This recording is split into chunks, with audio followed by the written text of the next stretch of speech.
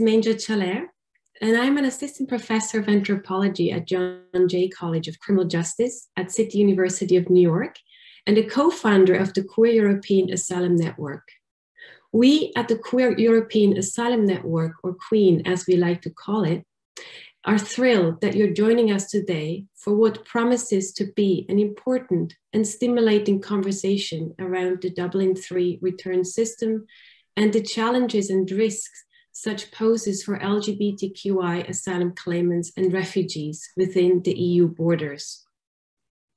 So today we have the immense privilege to be hearing from thinkers, practitioners, and activists who have devoted their intellectual, personal, and professional resources to amplify the concerns, as well as good practices around queer asylum law and policy in Europe. Europe currently faces an increasing threat of autocratic political regimes and civil movements that are determined to restrict the rights and freedoms of LGBTQI persons. These movements and politics become particularly relevant for the conversations to be held at this symposium today when considered in conjunction with the increasing militarization of EU borders, as well as the increasing criminalization of irregular migrants within and outside the EU. So the questions that animate this one-day symposium concern the protection of human rights standards for LGBTQI refugees and asylum seekers living in EU reception countries. This symposium will touch upon the lived experiences of queer asylum claimants with Dublin 3, as well as the possibilities for solidarity between LGBTQI support organizations located in Eastern and Western Europe. So before we delve into the first panel, I'd like to say a few thank yous. On behalf of Queen, I would like to express my immense gratitude to my co-organizers of today's event. These are Eirene Chen, Lily Draza, Daniel Čubelić, and Mohamed Dalla. Without their conceptual and moral support, this event would not have been possible. I would also like to thank our illustrious panelists who have so generously agreed to dedicate their time and knowledge to this symposium, as well as Ronja, who has brought the urgency of the topic of today's symposium to my attention. Last but surely not least, I would like to thank the Gunda Institute for their generous support. Specifically, I express my gratitude to Julia Hartleb for bearing with me as I navigate the administrative dimension of this event, and Dr. Ines Kappert, the director of the Gunda Werner Institute, for her incredible trust in Queen and her friendship. Thank you so much, Ines. And may I give you the word now? Yeah, thank you so much, uh. Um, I'm excited. I'm really looking forward to this in, um, to this um, international conference Queen made possible again. Since two years, um, you managed to do exactly what, or to implement exactly what um, the Gunda Werner Institute is, is here for, namely to bring to, together activists, politics, and scholars, and thus to, um, with the goal to overcome um, human rights violation and to enabling sexual self-determination, which is of course a human right. So since two years, you gave us the chance to learn a lot, and you managed to bring the situation of queer refugees into the political discourse. And we all know that this is not an easy thing, and it's amazing that you managed it.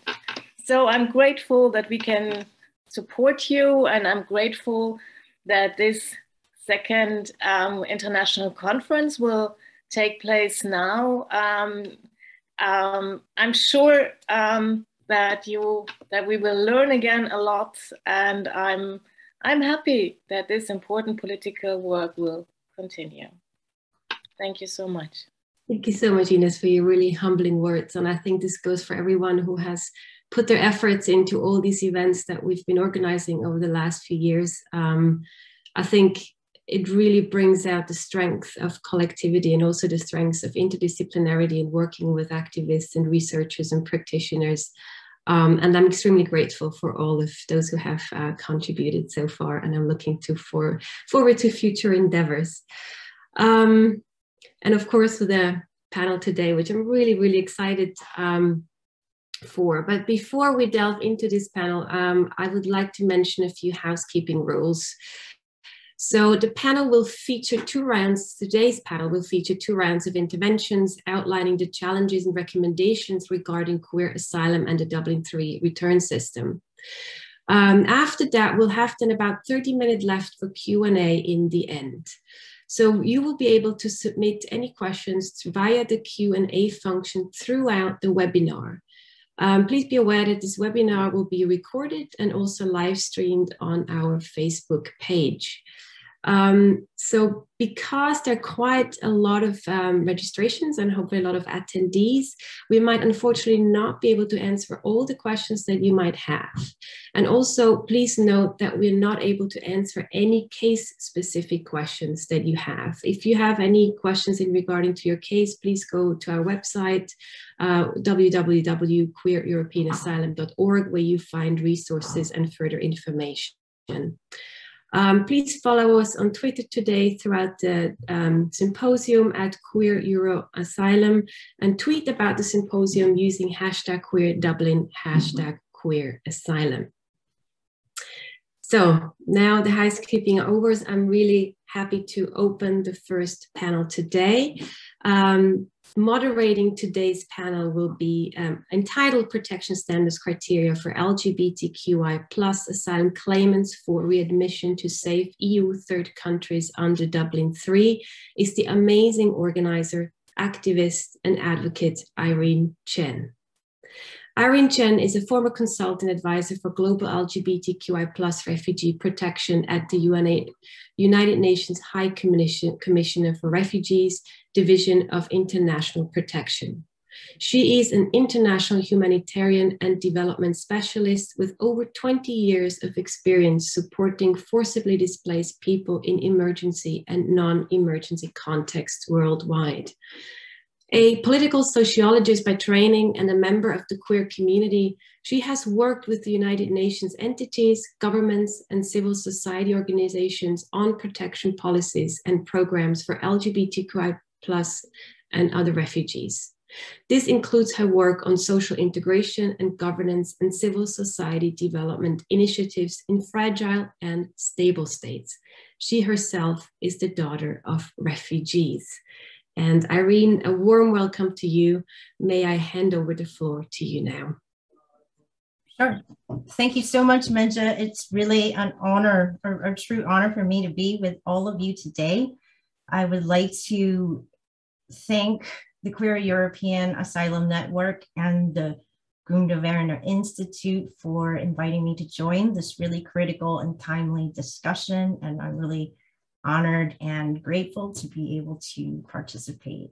Uh, before I go on, I just want to note that during the discussion, we will be using the term LGBTIQ+, plus, and I know that this is not universally used across all the agencies and organizations that are with us today. So Basically, this is just a term to refer to people of diverse sexual orientation, gender identity, gender expression, and sex characteristics. And we appreciate that this is not a universally used term. Uh, some organizations, such as ELENI's, the Council of Europe SOGI unit, are, are using sexual orientation and gender identity, and that is also fine. So if you hear me kind of switching back and forth between those two acronyms, just, you know, please bear with us. So before I get started, I just want to give a very quick snapshot before we go on and introduce you all to our, our esteemed panelists today. As you know, right now we have over 82 million people who are forcibly displaced worldwide, the highest number since the Second World War. This includes over 12 million in Europe, which hosts six over six and a half million recognized refugees, over 1 million asylum seekers, 2 million internally displaced people, and nearly half a million people who are stateless or undocumented. And at the same time, there are globally almost 70 UN member states that criminalize consensual same sex relations among adults. Uh, two of them, two additional states criminalize de facto, six prescribe the death penalty, 13 have laws that criminalize trans and gender nonconforming people, and another 37 target trans people through vagrancy, prostitution, morality, and other such laws. Within this context, Europe has long been regarded as a global standard setter when it comes to upholding the rights of lesbian, gay, bisexual, transgender, intersex, and queer persons within its jurisdictions through the European Convention on Human Rights, as well as through its efforts to set out a unified, coherent, open, and fair system for ensuring international protection to forcibly displaced people in its territories through the Common European Asylum System, otherwise known as Dublin III. In late June of this year, so nearly one year after the EU's new pact on asylum and migration was presented by the European Commission, European Parliament and the European Commission confirmed agreement on a mandate to re-establish the European Asylum Support Office as the European Union Agency for Asylum with an enhanced mandate to implement the Common European Asylum System under Dublin III. I quote, it is a significant step in creating the world's only multinational asylum system. However, as mentioned, mentioned, mentioned earlier, in recent years, we have been witnessing the increasing politicization of both forced displacement and SOGI human rights in Europe, with the devastating consequences for people who seek safety in Europe from persecution linked to their real or perceived sexual orientation gender identity, gender expression, and sex characteristics. If we think about what happened yesterday in the English Channel when a dinghy capsized, 27 people lost their lives tragically. You may also think about uh, the very recent standoff on the border between Belarus and Poland, in which a number of asylum seekers were caught in the middle. And with regard to SOGI rights, which Eleni will touch on in her presentation, out of the 47 member states of the Council of Europe, there are at least 10 that do present barriers to even the freedom of expression on this type of topic, which is to say that LGBTIQ plus asylum seekers in Europe do face multiple intersection challenges, and they are among the most marginalized and in many ways vulnerable groups of forcibly displaced people today. So given the complexity of the situation and of the ecosystems in which it is evolving, it would appear that to ensure the protection of LGBTIQ plus asylum seekers and refugees in Europe, this will require the courage, creativity, and commitment of a very broad range of people, including yourselves, who work across sectors, geographies, and cultures. So we're very honored today to be joined by four experts who will be speaking on the panel and who have very graciously agreed to share a bit of their own experience and perspectives with us. I'm going to begin by introducing our four panelists, and I would just request that those of you who don't have your camera on, turn it on so we can all see what you look like. We're going to begin with Suma. Suma, are you with us? So while Suma is turning her camera on, I'll just let everybody know Suma is a trans refugee from Egypt, an activist. Hi, Suma, and a consultant. Welcome, Suma, living in Berlin. After having worked as a public relations manager and executive secretary for a dental company, I should also note that Suma is a trained lawyer as well. She worked as the leader of several groups in Europe uh, that work with LGBTIQ plus refugees, including the Tea and Talk group in Istanbul, as a consultant for the Emantes organization, which is based in Athens, and as a previous coordinator for RFSL Stockholm Newcomers Group for LGBTIQ plus refugees. Um, between 2017 and 2019, Suma has served as a board member of Transfest Stockholm, Trans Newcomer Stockholm. She co-founded several LGBTQI plus asylum networks, including Transgender Europe's Trans Refugee Network.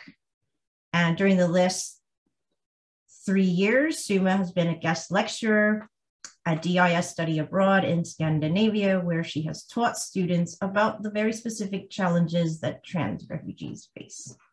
Welcome to Suma. Thank you.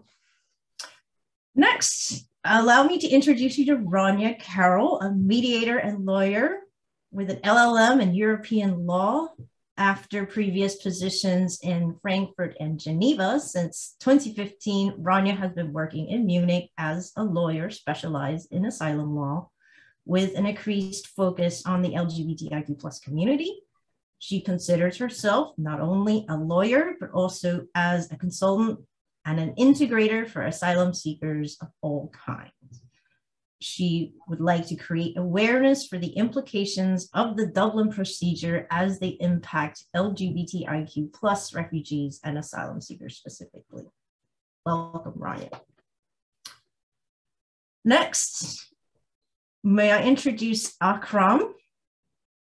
Akram Kubanychbekov, whom some of you may know is the Senior Advocacy Officer at ILGA Europe, also trained in international human rights law Akram works on developing and implementing advocacy strategies and policy initiatives aimed to bring legal, political, and social change for LGBTI people across Europe and Central Asia. LGBTI asylum and migration are some of the key thematic areas of his work. Prior to joining ILGA Europe, Akram also worked in the UN in the regional office of the UN High Commissioner for Human Rights in Central Asia and has been involved in queer activism for nearly 15 years. Welcome, Akram. Finally, we have the great honor and pleasure to introduce Eleni Tsetsekou, a lawyer and specialist on minority issues and vulnerable groups. Eleni is joining us as the head of the Sexual Orientation and Gender Identity Unit, uh, unit of the Council of Europe whose mission is to fight against discrimination based on sexual orientation, gender identity, or expression and sex characteristics in Europe. Eleni previously served in the Council of Europe on Roma and Travelers, where she was responsible for the promotion of integration policies and inclusion policies in the 47 member states of the Council of Europe. And Roma women and girls were a particular focus of this work. So please give a silent round of Zoom applause for our four panelists. And uh, with that, shall we begin with a discussion of the key challenges that each of you feel LGBTIQ plus displaced people face in Europe, and also some of the challenges you face in your work to support them. So we're going to start with Suma, and then we're going to go next to Ronja Akram, and culminate with Eleni in order of progressively increasing scope. Okay, so Suma, as a trans refugee who has lived in several European asylum countries and who has had a very extraordinary journey in your own search for safety and dignity, could you share with us some of the experiences that you and other LGBTIQ plus asylum claimants and refugees have lived through under the Dublin 3 regime. Thank you. Yes, first I would like to uh, say that I'm so happy to be here with all of you today and extremely happy to be able to talk about Dublin regulations because this is something been very uh, annoying for the last five years. I've been working. I left my Egypt five years ago, and I started my activism work. Uh, as Eirene mentioned, that I started uh, groups in Athens, Sweden, for supporting LGBT refugees and networks in Europe, and this been like a huge issue. People, when they get forced LGBT refugees, when they get for, forced to be displaced uh, this is something not easy. They need to seek safety where they cannot be reached by their family members, their relatives, their friends, uh, people they used to know in their home countries. So it's difficult to be in the country that you've been able to get visa to, like, for example, if some uh, family member send me an invitation to any European country and I go to that country and I'm afraid to stay there because I need to seek asylum and I had to move to another European country. So Dublin regulations will send me back in unhuman way. Uh, I had case in Sweden. She was a trans woman from Syria. She traveled to her with her family to Germany, and she couldn't stay with her family because of her safety. And she been sent back to Sweden, from Sweden to Germany, to the same city. And she had to stay in the same camp because this was the only camp in the city. And she had to be reunited again with her family and we lost the contact with her. She couldn't be sent back. She and they didn't listen. They didn't consider her uh, the risk of her life, and they told her literally, "The police can protect you." And the police, we all know, they need time to arrive, and I need a chance to be able to call the police. So this is not applied. And actually, since she be, she been sent back to uh, Germany, we lost the contact with her. And she been, before she sent back, she was in the detention camp. Uh, usually Dublin uh, units, they give their decisions uh, within three weeks and maximum you need like three to six months to be able to send back to the country you entered first and the, the country, they consider this country should uh, examine your case. This is not fair. And uh, when a Dublin regulation goes to LGBT cases, it doesn't serve its purpose because they have reasons to move. Like, for example, my case, I've been grant, I have residency in Greece where I didn't get anything. I've been abused so many times. And I moved to Sweden and it needs for, they couldn't give a decision right away uh, within three weeks and we had similar cases, they gave the decision within three weeks. But I had to wait eight months because they were confused. They couldn't decide and they couldn't justify the decision. So, and I've been, uh, the returning way wasn't really like they lied to my face.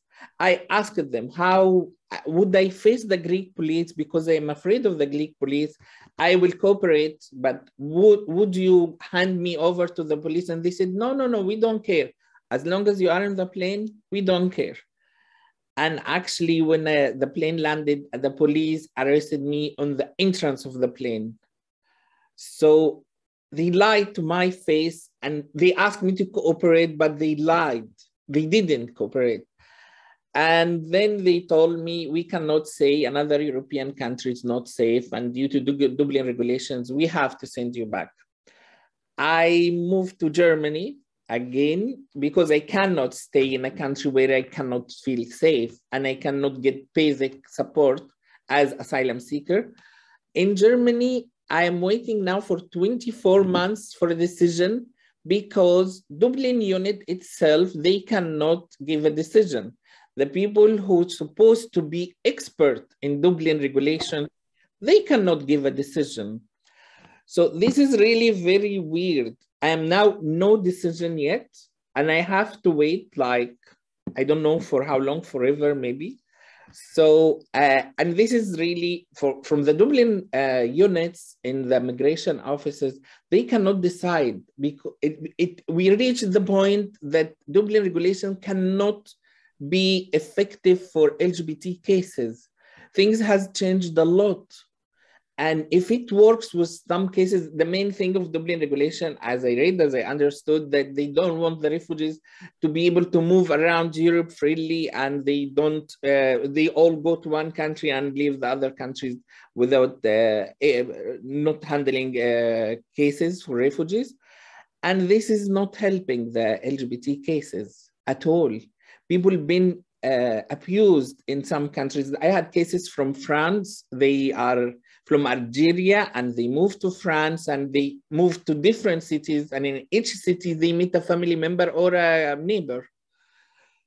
it's been difficult for them and they went to Sweden and they've been sent back because due to Dublin regulations and it was also escorted by the police in the plane.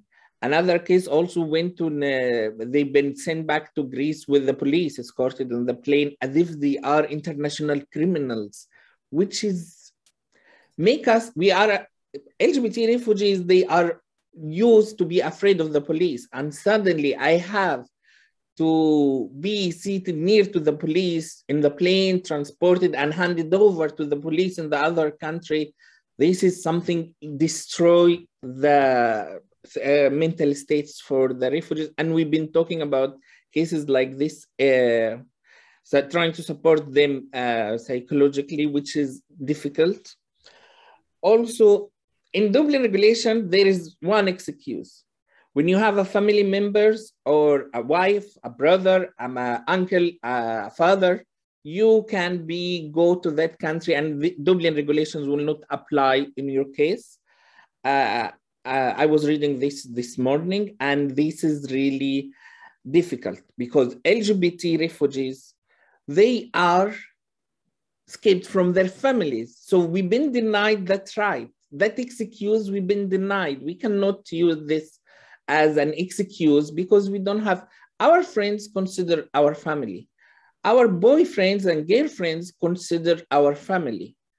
So it's not allowed. I had a case in Netherlands and they need to move to Sweden for, to be uh, with his boyfriend and they didn't consider, they asked him for marriage certificate. They came both of the, one from Iraq and one from Syria. And they need them to get a birth certificate from Iraq or Syria to move to, to live together. This is uh, make things not uh, right.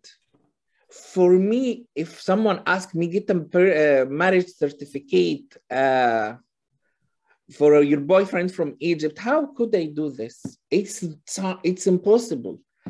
So when they have excuses, we are not included in this excuse and we cannot they don't consider our friends who've been together for years our our our, our family they don't consider boyfriend or girlfriend and this is totally wrong and as i mentioned before if a family member send me uh, an invitation to come I, I cannot stay in this country. I'm afraid this country is here.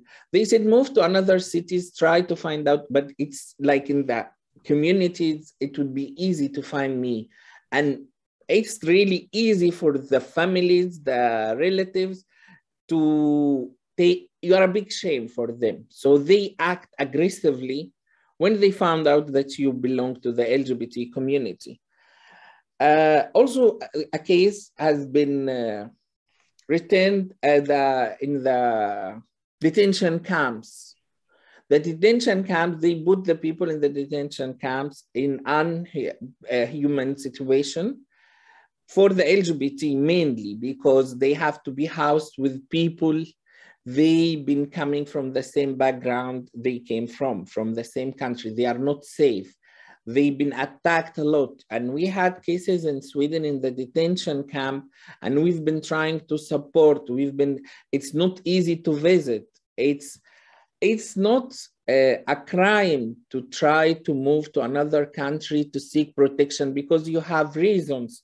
It's not, you are not like need to take a trip to other uh, city. We, we need safety. And this is why we left our countries. Most of LGBT refugees, when they leave, they, when they've been forced to be displaced, they didn't do this because they get, need to get better life. We need to get the basics because we couldn't have in our countries. There is no police to protect me. There is no healthcare to support me as a trans person or there is nothing. So we need to get the basics. When we try to get the basics, they are like, this is Dublin regulation, go back. And there is countries like in the the border countries are they like i don't like to name any country this is bad and this is good but the border countries cannot get because of the huge numbers of refugees going there they cannot get the give the support the refugees needed so they move and dublin regulation send them back so i think if we need to talk about this, the, uh, if I need to give any recommendations, and I'm sorry, I have to give my recommendations early because I have to go. But my recommendation is the reasons should be considered. Any friend I con we confirm our friendship, both of us, it should be considered as a family member because I need to, they, why they are united, the families, because these people take care of each other and support each other. So my friend been supporting me for years before we come to Europe. And now I need still to be with my friend I consider my family. So reasons should be considered. We should uh, have the right to get access to the ex ex uh, excuses in the Dublin regulations.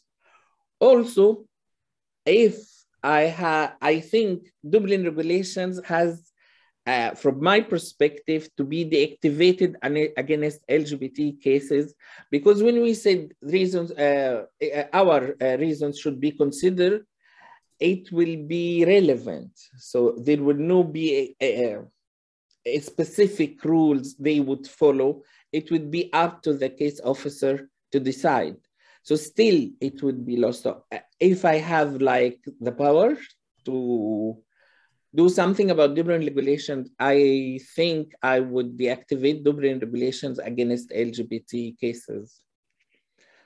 And thank you for the give me the time to talk.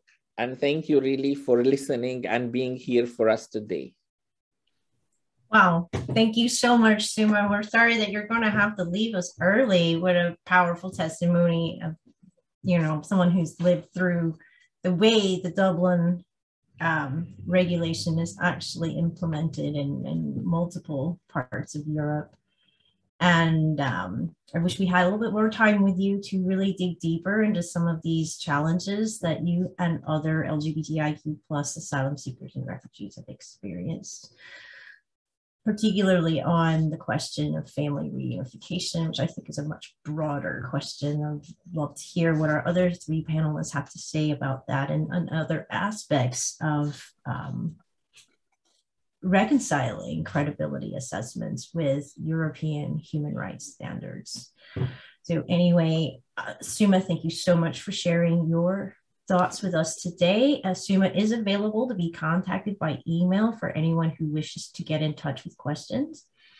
So we will post that in the chat uh, during the seminar. So we'll let you go, Suma, to your next appointment. okay, thank you very much. Bye-bye. Thank you so much. Take good care. Um, so following on what Suma has just shared, the criminalization of movement, it sounds like. Um, let's turn to Ronja. Ronja, as a an asylum lawyer working very closely with immigration authorities and also security authorities, what has your experience been like representing LGBTIQ plus asylum claimants in Germany, not only as a lawyer, but also as an advocate for safe and dignified integration. So, what are some of the implications of the Dublin procedure that you've witnessed? First of all, I really uh, say thank you to to Mengia that that she listened to me when I when I brought up this this topic to her ears, because uh, this is really something I, I, I feel we, we need more to discuss about because as we got the testimonial of Suma, uh, the Dublin uh, 3 uh, is completely in opposite of, of what those LGBTIQ plus uh, refugees uh, they they expect of our asylum system. So um, I, I, want to start a little bit to introduce myself because I, I came, I moved back to Germany in 2015, coming from another country, where where Germany faced this what we call wave of refugees, um, where in Europe there was this uh, this this big big moving,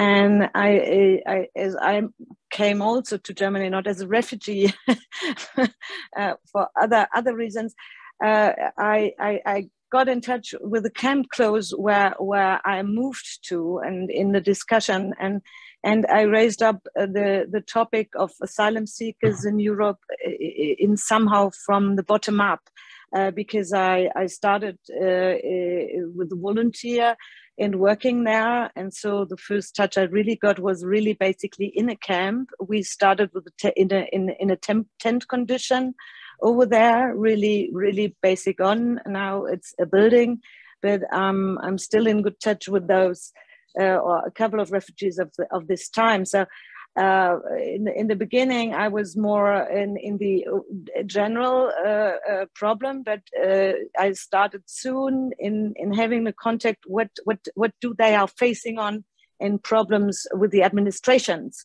What Suma also brought up.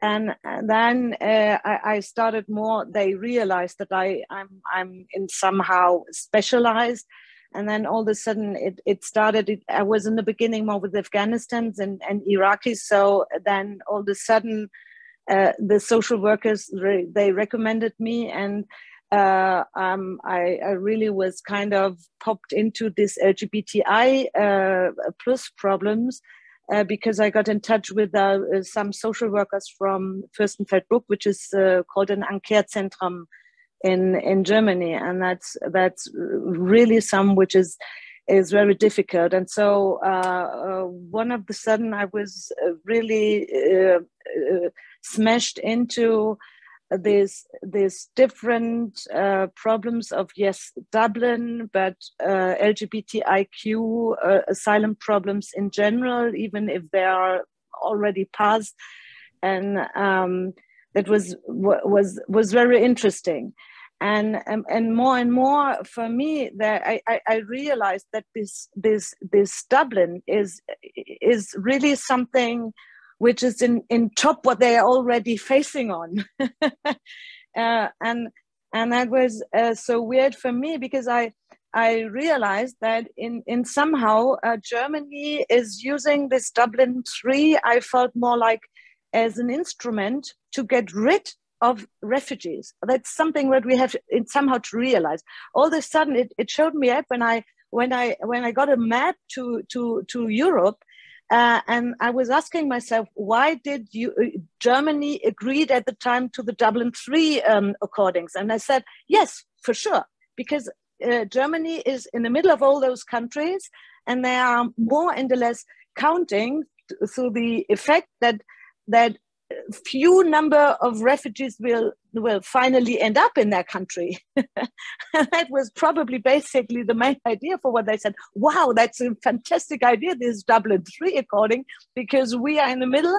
So all, all the border countries they will uh, they they will manage and and the idea of of uh, of solidarity and in terms of really sharing uh, all those refugees on the European context, that's what I, I, I never felt as that's the intention, how Dublin is. Uh, is is organized also so uh, that's that's uh, in getting in it as a lawyer all of a sudden you realize that here in germany uh, uh, really the Dublin is really only based on the formalities. So really, in seeing that we are uh, uh, uh respecting the delays given by the regulation, and, and and seeing that we we. Uh, we see that you know uh, we we try to get the decision in the delay of three months so that we can really continue in organizing everything that we transfer to people. Uh, so that's that's really something what I which, which made me really really sad because if you have a look to the regulation, uh, the first problem which shows up if if it's organized as uh, um, as uh, uh, as formal system, uh, the word LGBTIQ is, is not showing up in the regulation itself.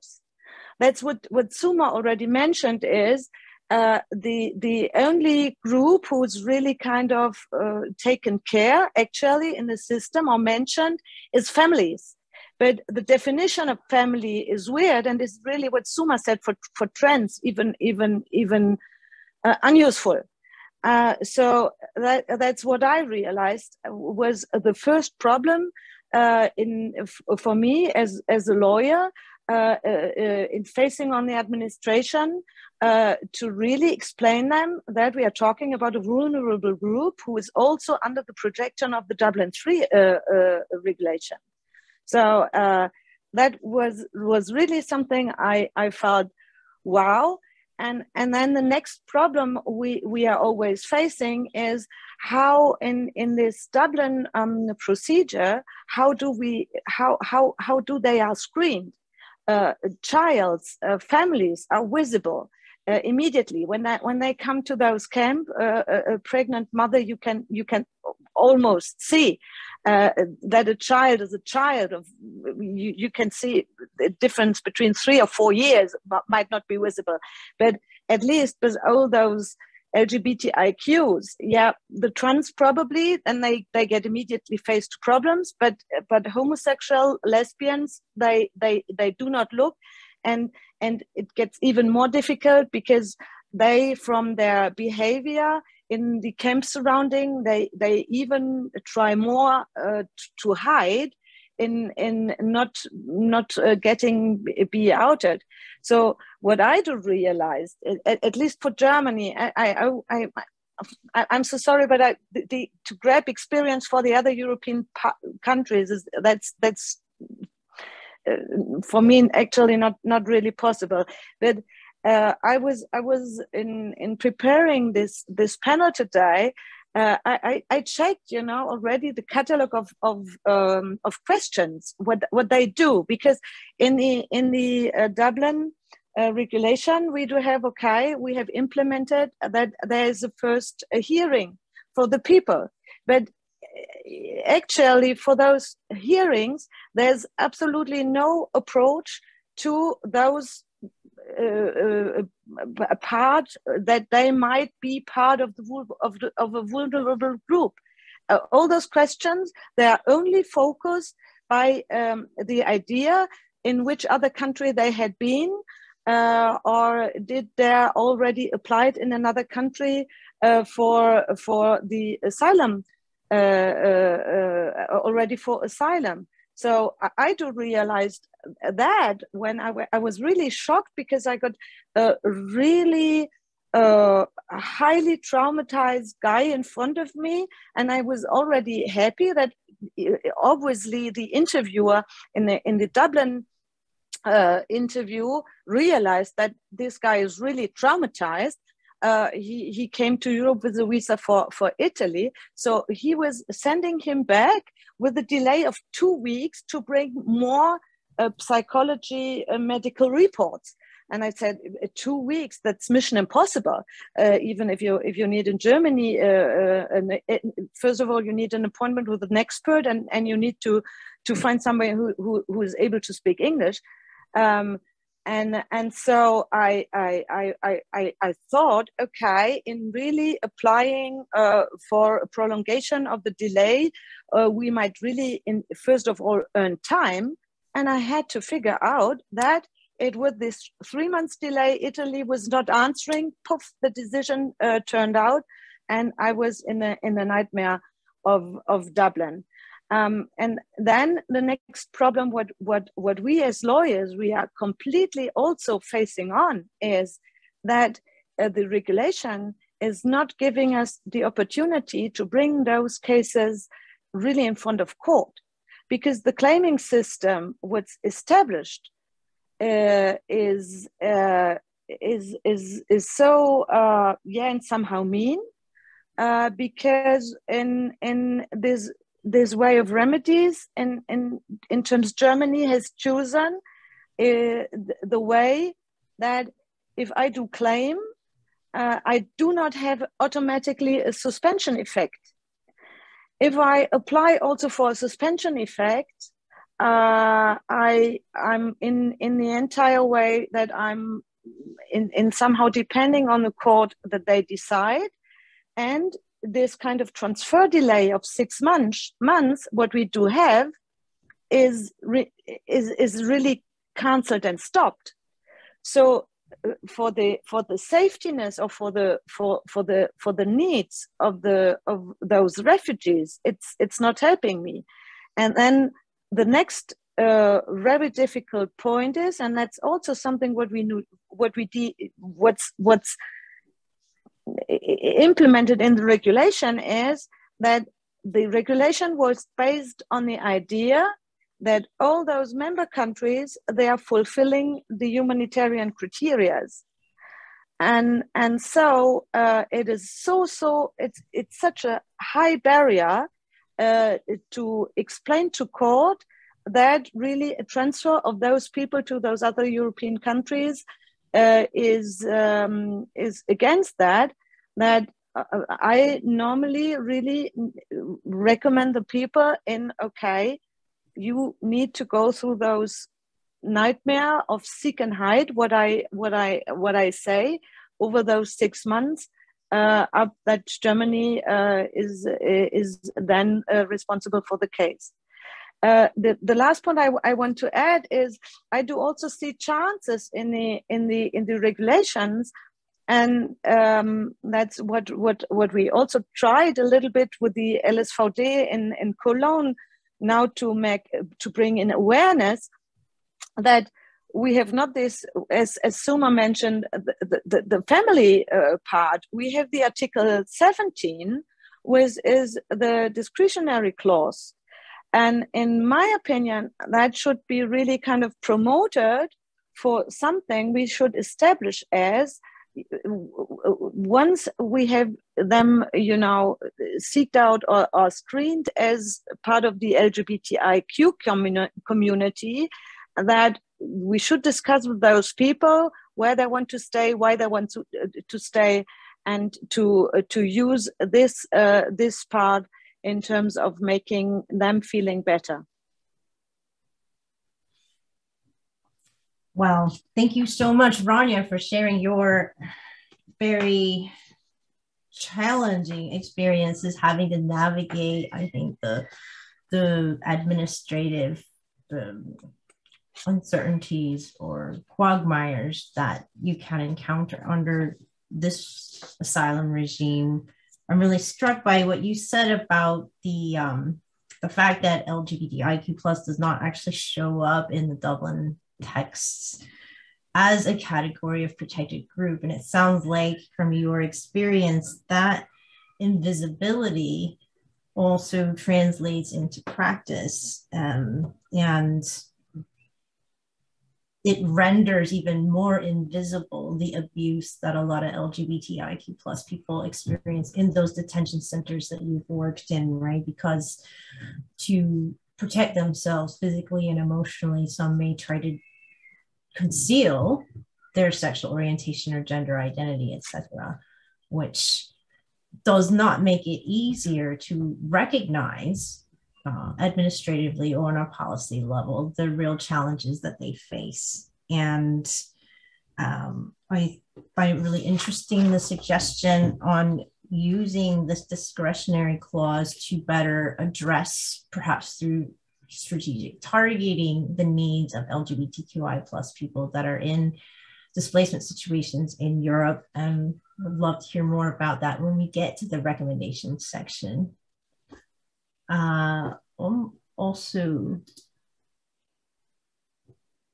Eleni, you have just mentioned that you're having some difficulty hearing people. Can everyone hear? Can people let the moderators know if they can hear all the speakers? Okay. So, with all the kind of procedural and political challenges that Ronja has brought up, from remedies to um, a perception that perhaps some countries in Europe are using the common European asylum system as a way to keep refugees out of their countries. Why don't we move to Akram? Akram, you represent one of the most influential LGBTQI plus human rights organizations in Europe. Could you help us understand a little bit um, how ILGA Europe approaches the asylum policy in the European Union, what are some of the protection standards and challenges that you have seen LGBTIQ plus asylum seekers go through under Dublin 3? Probably as many of them would reach out to ILGA Europe for support. Thank you. Yeah, thank you, uh, Eirene, for the question.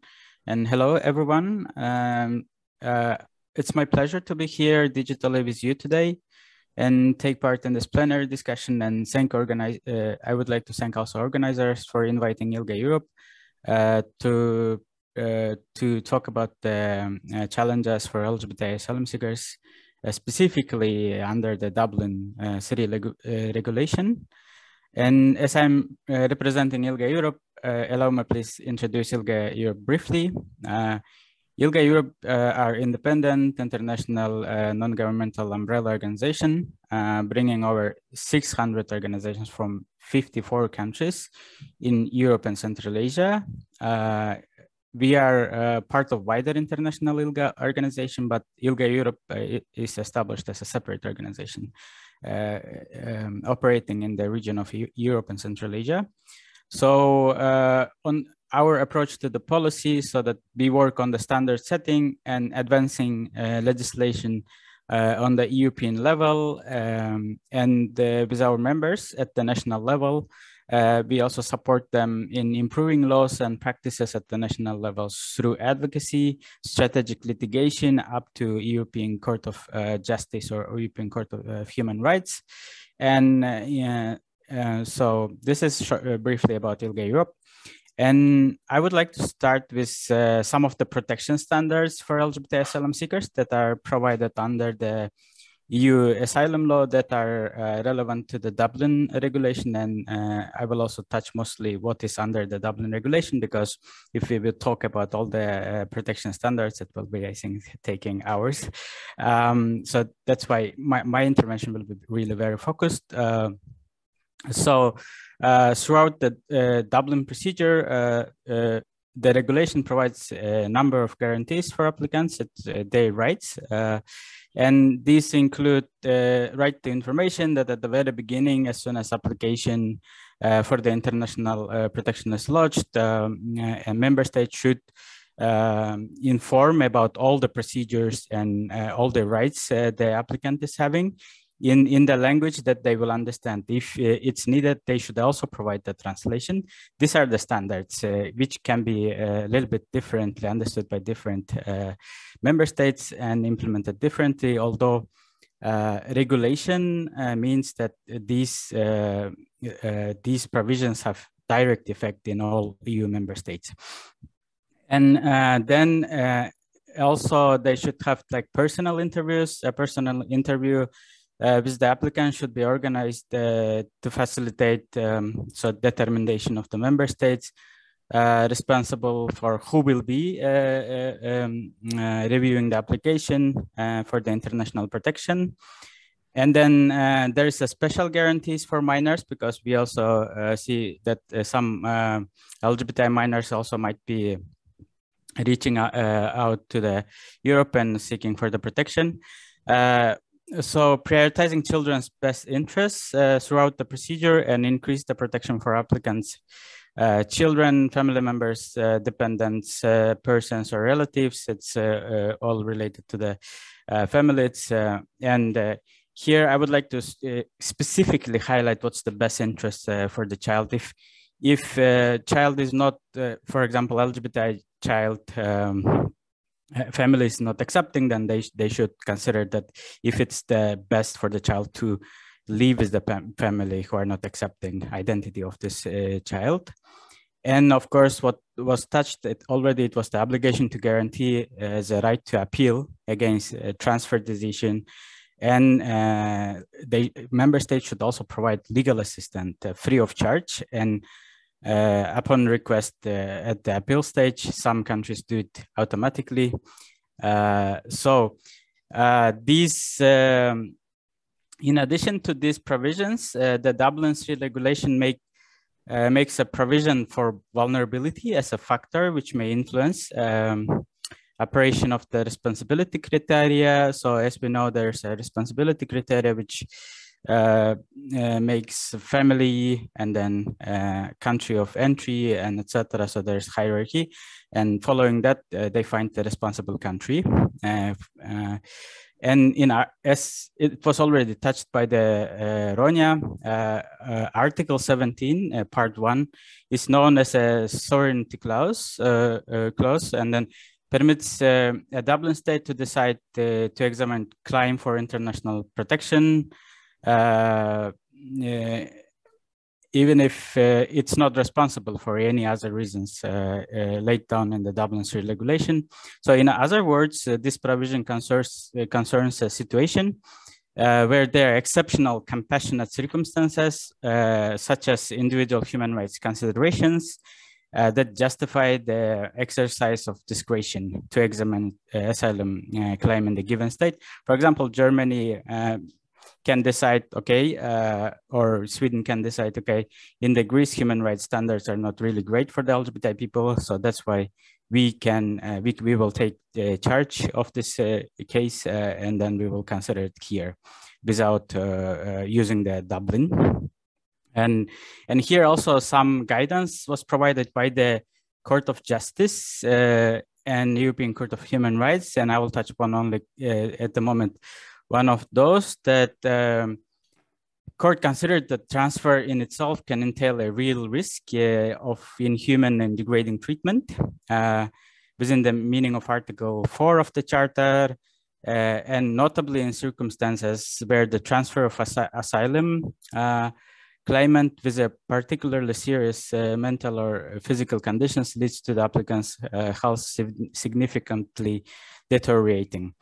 And uh, in these standards, they also have, um, so therefore the authorities of transferring state uh, must take into account objective uh, factors such as medical certificates, which are capable of demonstrating the particular seriousness of person's illness uh, and the uh, significant and irreversible consequences that transfer may result in.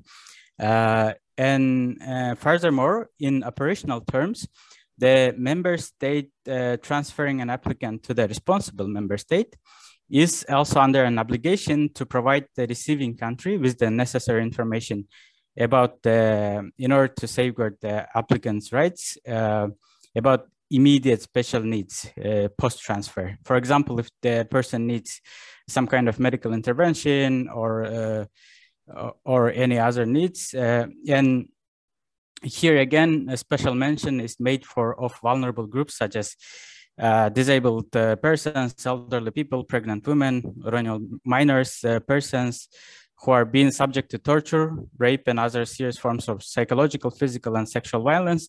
And the last criterion, uh, or, or, maybe last two criteria, uh, are uh, very relevant to LGBT applicants because they all, uh, often um, face high uh, um, highest uh, rate of violence and torture cases in the uh, country of origin or on their way. And uh, some of them even um, face a torture. So, but unfortunately, they cannot understand what's the torture. And that's why these um, provisions sometimes may not be used. Um, uh, I will touch upon about the uh, in in the challenges that part, and then Article 17 and uh, Part Two. It's also um, has uh, it's called the humanitarian clause, and uh, it um, um, it allows to also make an exception for the uh, for the humanitarian grounds based in particular on family or cultural consideration. And um, unlike the term uh, terms family member and relative, the term relations, which is mentioned here, is not defined in the uh, Dublin III regulation.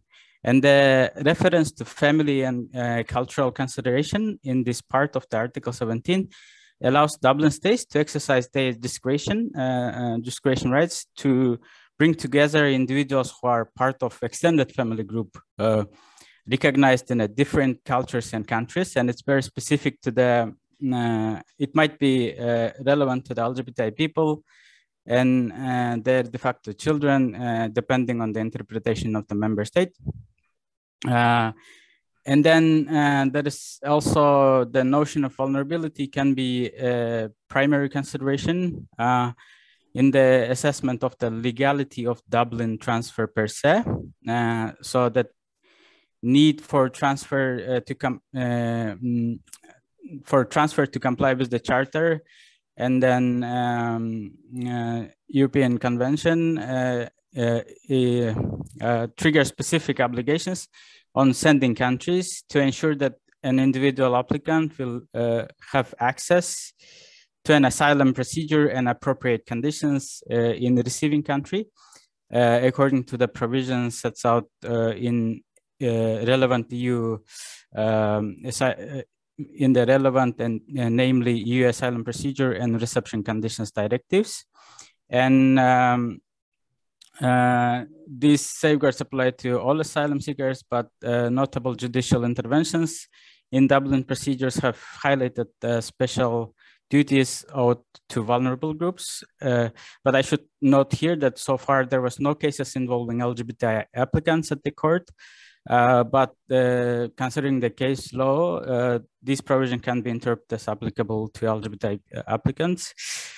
And um, also several uh, court rulings stress that sending countries have obligation to obtain individual guarantees that the transfer will comply with the standards of the um, of the convention and then charter. So uh, these are some protection provisions uh, provided by the EU uh, law for asylum applicants, um, uh, including uh, yeah, LGBT people. And now I would like to highlight some of the impacts of the Dublin system system on LGBT applicants. First, I would like to share some examples just of the real cases to demonstrate how regulation can negatively affect LGBT people. And uh, for example, uh, after applicant's family discovered his uh, sexual orientation, he fled uh, his country of origin uh, uh, because he feared his family would kill him. And then he first was in Hungary, then moved to Austria. And then his family also arrived to Austria, and then according to Dublin, he would have to, uh, he would have to return to the uh, uh, or not to his family arrived to the Hungary as well, and then they under the Dublin they were uh, uh, united. But however, he expressed the concern that Hungary was not accepting and affirming also LGBTI people, and he will there face violence from uh, family members. Uh, and um, I think I will just skip some of them because of the uh, time limitations and just turn into the challenges we see. so as we can see from uh, the mentioned cases uh, by also by Suma that one of the main challenges of the Dublin system for LGBT applicants is that the system is built uh, from hetero cis normative perspective, uh, which creates a system where there's a little understanding of the individual circumstances and needs of LGBT applicants. Uh, and uh, this perspective leads to the violation of some of the core principles of the Refugee Convention, uh, as such as non-refoulement and then individual assessment of application um, and uh, yeah, application uh, protected by the Refugee Convention. And another challenge is the assumption on which is the Dublin 3 regulation is based uh, that asylum seekers are afforded equal rights across member states and each claim gets a fair examination uh, wherever the claim is lodged in the EU. And this is uh, far from being a reality. It was already mentioned by Ronja as well as with, uh, by Suma. And uh, we should also mention that EU member states uh, have a different level of protection for LGBT asylum seekers and in the field of employment, uh, education, violence, to uh, just name a few. and in addition, um, there is a lack of compliance on procedural guarantees and safeguards for asylum seekers, uh, which are already uh, set out in the EU uh, asylum law, especially for LGBT applicants, and that uh, procedure is becoming lengthy and uh, outcomes are unpredictable more and more, uh, which in turn, uh, coupled with poor reception countries um, in, in, and social precariousness have impact on the well-being of LGBT people and also contributes to, to, to, the economic and social uh, precarity uh, of the LGBT people that sometimes they prefer, as it was uh, already mentioned that lay low or hide and seek where they do not get the um, essential services. and um, and and these people are who in many cases have undergone traumatic experiences uh, back home or on their way to the EU. Um, and uh, so these are the some of the main challenges I wanted to highlight today. Uh, of course, also because of the time limitation.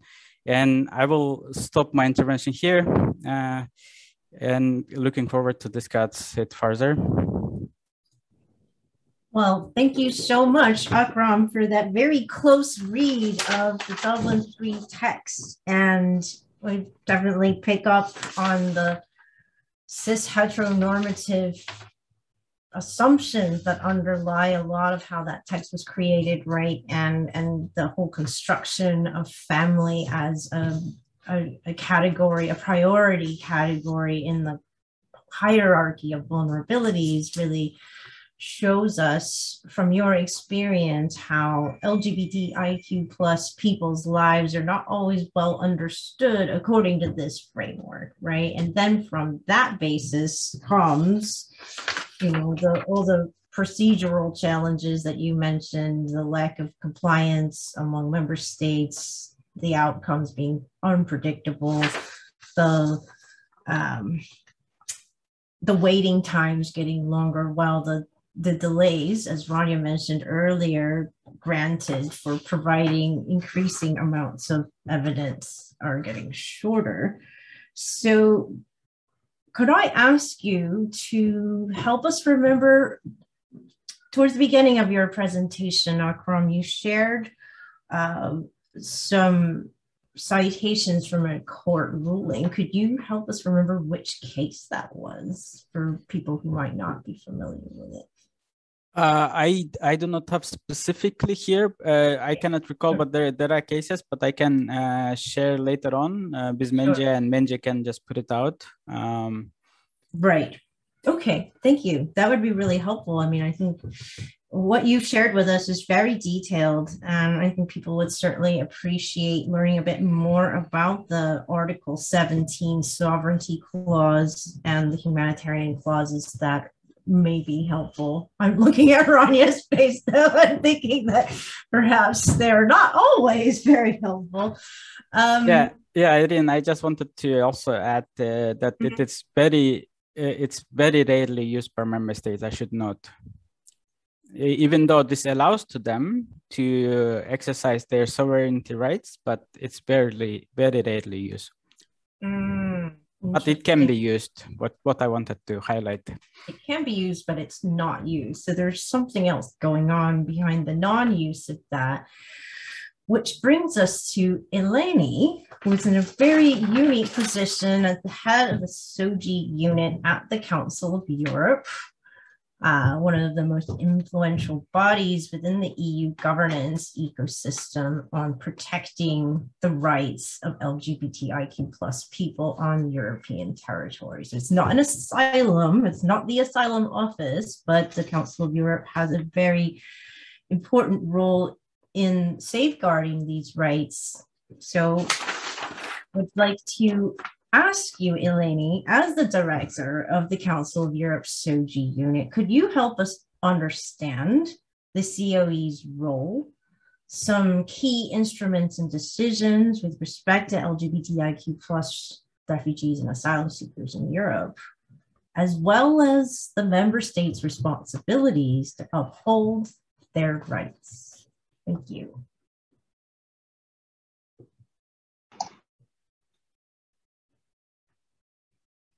You're on mute. And you're also, can we hear Eleni? Can anybody hear Eleni? Okay.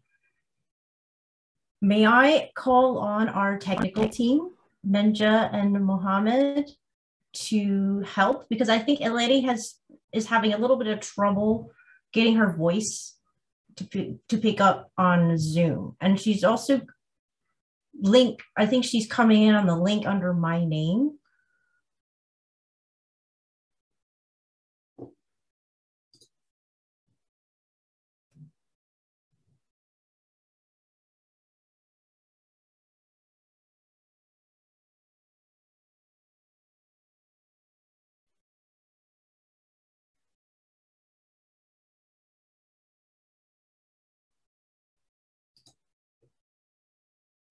Okay, while we are sorting out this technical issue, may I, before we move to, we're going to give Eleni and our technical team a, a minute to try to establish a reconnection of the audio.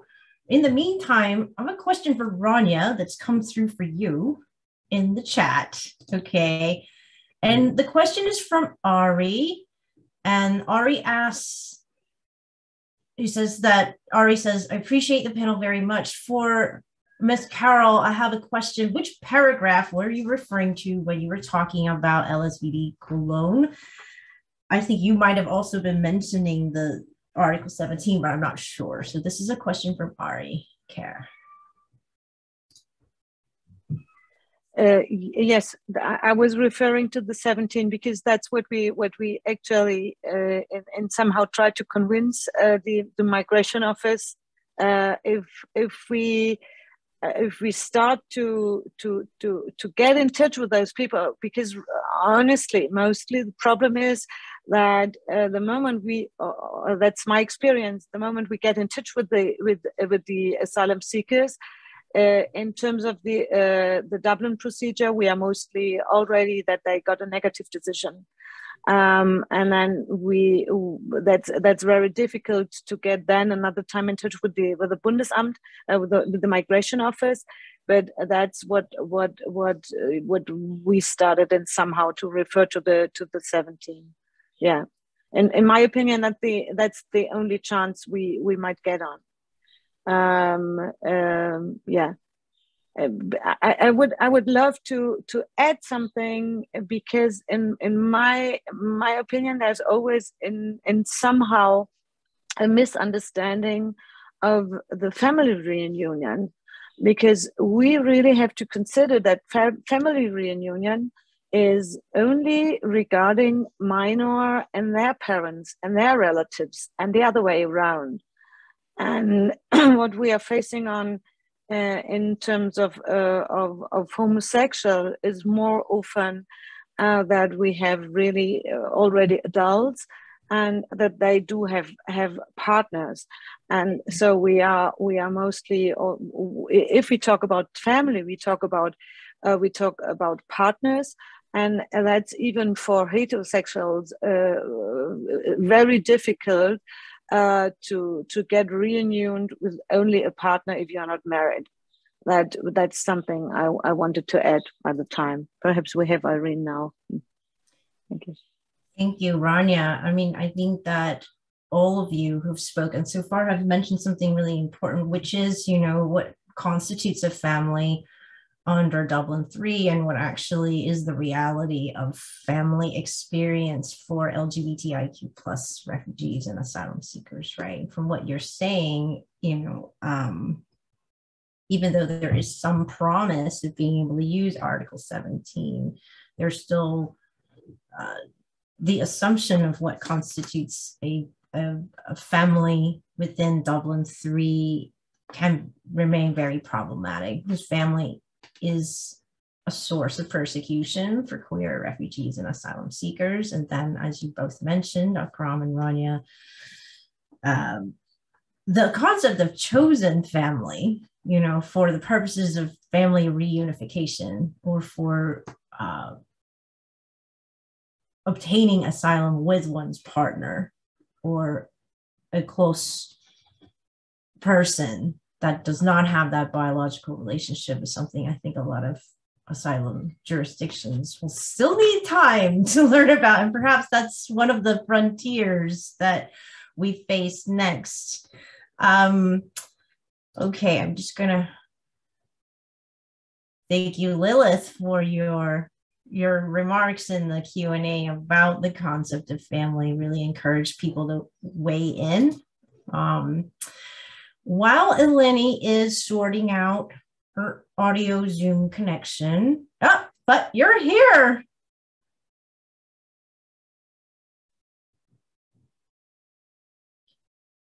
Eleni can you hear us? You are on mute. Eleni, could you try to unmute yourself?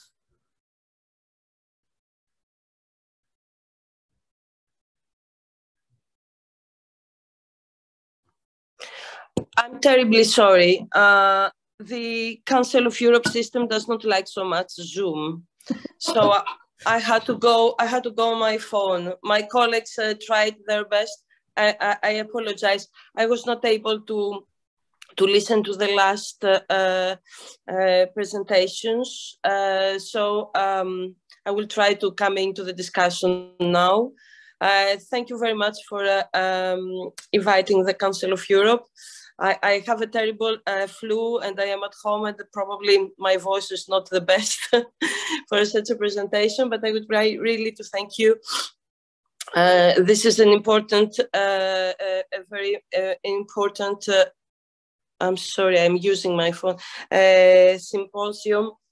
And I do hope that uh, we'll have uh, some follow ups because uh, this is a topic that the Council of Europe has taken up um, for some years now, together with UNHCR.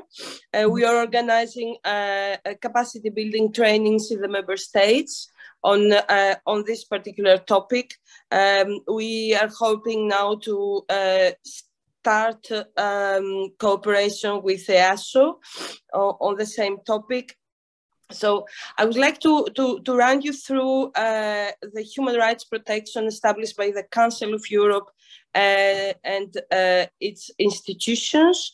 Uh, it's going to be uh, probably a, a, bit of boring uh, presentation, but I am happy to share with you uh, our presentation. It was uh, uh, prepared by my team. Uh, I have a lawyer working on this spe uh, specific topic. Uh, so I'm a lawyer myself. So I, I, I will share with you after the meeting this presentation because I think it's a very useful tool for the people concerned, but especially for lawyers working uh, in the member states on this uh, particular topic.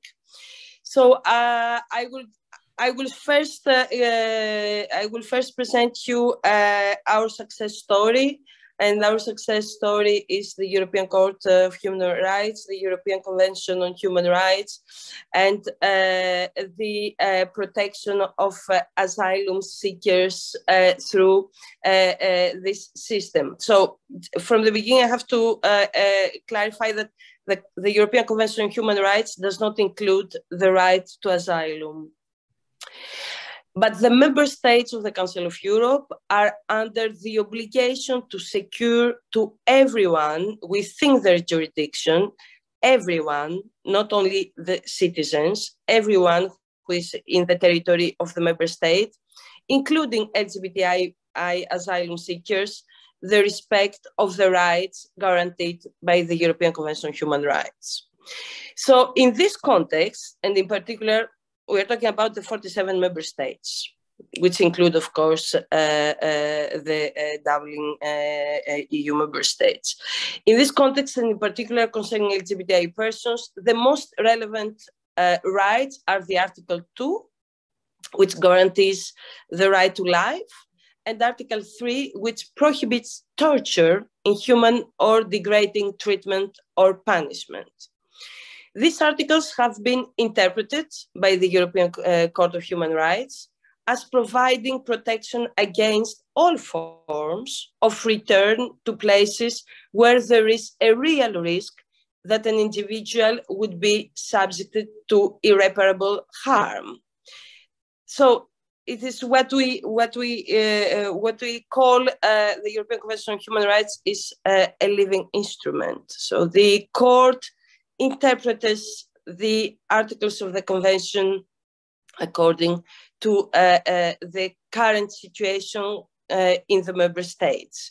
So there, there is this an evolving. Uh, this is an evolving uh, case law concerning the uh, the asylum um, LGBT asylum seekers. So. Um, the court's interpretation of the articles 2 and 3 has evolved as i said and into an expression so you you you you have to to keep this expression is very important is the non-refoulement principle. Articles 2 and 3 of the Convention also prohibit under indirect refoulement, which means an expulsion to a state from where migrants may face further deportation without a proper assessment of their situation. So this, this of course, as you can imagine, applies in the context of the Dublin regulation, and this is uh, the topic we're discussing today. So Article three, 2 and 3, indirect refoulement. The court has interpreted these obligations to include that an LGBTI person risking persecution amounting to the treatment contrary to Article 2 and 3 of the Convention on the basis of their sexual orientation or gender identity may not be sent back to their country of origin. The European Court of Human Rights has ruled that asylum seekers should not be required to lie or to exercise restraint about their sexual orientation or other protected characteristics. In its recent non-refoulement case concerning the risk of ill treatment for reasons of sexual orientation upon return to Gambia, so this is a very recent uh, judgment. It's BNC against Switzerland 2020. The court also clarified that the lack of the inadequate risk assessment by domestic authorities would breach Article 3. I should mention that in the past, similar cases have been either struck out or have been declared inadmissible. So you can see how the uh, European Court of Human Rights jurisprudence has evolved and now uh, covers uh, also uh, this particular case of violation. And it is an, a great tool in, in the hands of uh, practitioners, um, this jurisprudence.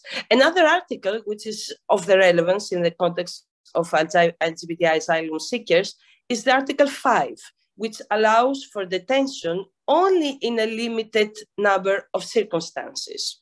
In our context, this concerns the detention of LGBTI persons pending the assessment of the asylum claim, or if their claim has been rejected, it concerns their detention pending their deportation.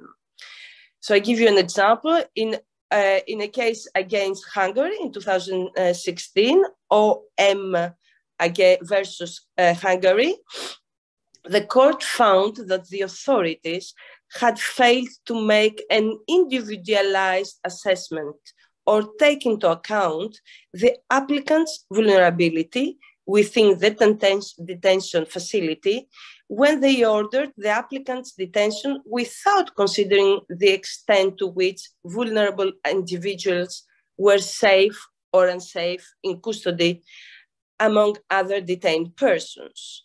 In this case, the court held that LGBTI individuals are particularly vulnerable group of asylum seekers. In addition, in the recent case, again versus Hungary, Rana versus Hungary 2020, the court extended the right of legal gender recognition for transgender refugees. The court noted that the domestic system for LGR had excluded the applicant simply because he did not have a birth certificate from Hungary, a change in the birth register being the way name and gender changes were legally recognized. So some important uh, uh, uh, judgments Uh, the most important uh, are, of course, the ones of 2020, uh, which the court uh, has issued, and now we are expecting uh, the execution of these judgments. Now, the Council of Europe in 2010 adopted a specific recommendation, the Committee of Ministers uh, uh, recommendation to member states on measures to combat discrimination grounds of sexual orientation or gender identity. So this is uh, our mandate. Uh, the SOGI unit operates based on this mandate of this uh, recommendation of the Committee of Ministers, and this covers uh, different rights and of course, uh, the uh, right to asylum is one of those. It is the first instrument of its kind, and it is specific, uh, uh identifies specific measures to be adopted and effectively enforced by member states in order to combat discrimination based on SOGIESC. So this we are working we, we, through our cooperation activities with member states for the implementation of this particular recommendation and of course through the execution of judgments for the member states that they are concerned. So this, uh, as I mentioned before, it has, there is a specific thematic section on the right to asylum and calls on member states to respect the principle of non-refoulement, to adopt measures to protect LGBT asylum seekers and those deprived of their liberty from risk or physical and verbal violence to ensure the access to information every four years, uh, uh, my unit uh, is going back to the member states and asks whether they have fully implemented or not this recommendation. So this is what we did. We call it a review of the implementation of the recommendation. This is what we did in 2018. So um, in the specific, uh, and this was the second review since the recommendation was adopted. So uh, in this specific uh, topic, a majority of states reported that a well-founded fear for persecution based on SOGI is recognized. So it seems that uh, uh, um, uh, there is a, this type of recognition in the majority of our member states. In the most of cases, of course, the recognition, the recognition is indirect uh, so we have to trust uh, uh, the responses that the member states uh, uh, gave to the Council of Europe.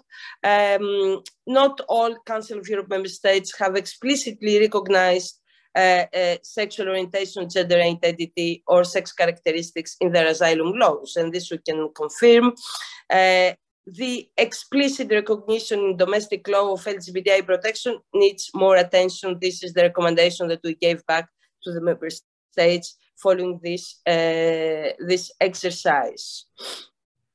Now, the legal protection of transgender asylum seekers has rarely been addressed in the responses. So it seems that uh, uh, in this particular topic, member states uh, have not done uh, their homework.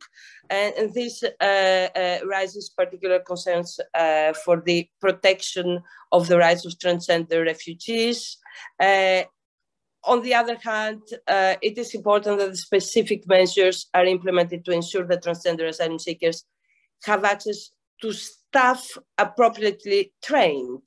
Uh, uh, uh and this is uh, the work that the, mm, the SOGI unit is trying to do with other agencies to uh, provide specific training. Now, to, uh, always about transgender asylum, transgender uh, asylum seekers, measures addressing the specific condition of conditions of asylum centers. Uh, one of our recommendations must be implemented to ensure that transgender asylum seekers have access to particular health care if required, as uh, such as hormone replacement therapy or to prevent discrimination, harassment, violence both from uh, staff or other asylum seekers. So this is this this um, uh, review of the implementation recommendation took place in uh, 2018. Uh, we are working now on a thematic review.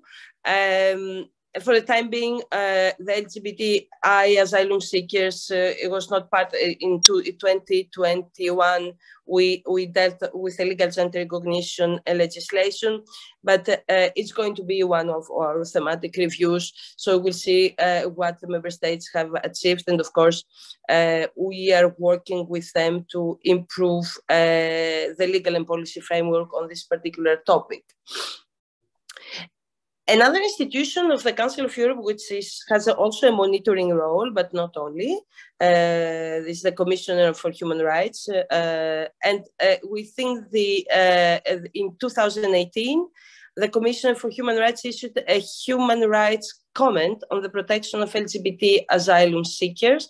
So it is very important source of information and um, not only for the member states, uh, but uh, see the commissioner uh, uh, she um, repeats the standards that they are established uh, by the Council of Europe.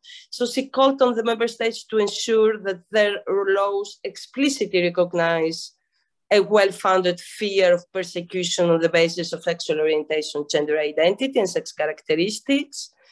And she found that there is an urgent need for practical guidance and training for all those involved in the asylum procedure, including interviewers, decision makers, and interpreters, and that the authorities should make full use of resources already available and cooperate with the civil society groups to develop trainings. In addition, she recommended that member states engage in further research and exchange about how to ensure safe reception conditions for LGBT asylum seekers.